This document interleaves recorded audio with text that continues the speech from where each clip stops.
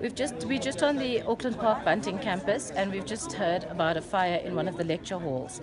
Um, at this point, uh, unfortunately, the investigators are still busy with um, uh, and are treating it as a crime scene.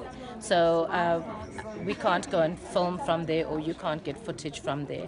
Uh, we've also been um, told that it may be an electrical fire. It smells like an electrical fire. So we're just waiting to get the results from from the um, investigators and from the police that are on, on scene. At this point, we have no we have no knowledge about that. It's still it just happened about an hour and a half ago. So those kind of um, outcomes are still are still being investigated.